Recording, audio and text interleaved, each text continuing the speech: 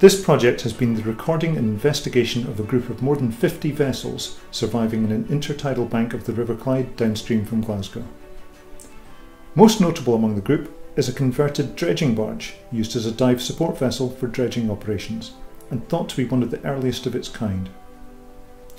The team of volunteers, under the direction of Scape Trust and in association with Nautical Archaeology Society, has produced a detailed composite record for this group of vessels.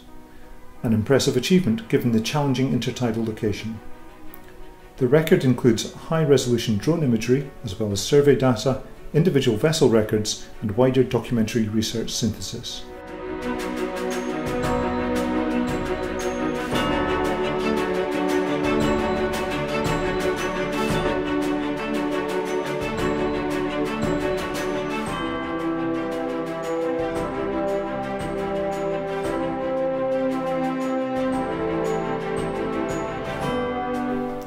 The intrinsic cultural significance of the site is well recorded and the supporting research has highlighted the significant context of these vessels in the development of the River Clyde, the expansion of Glasgow and its outlying maritime communities and the growth in international trading from the west coast of Scotland. The project has been featured on the TV show Britain at Low Tide.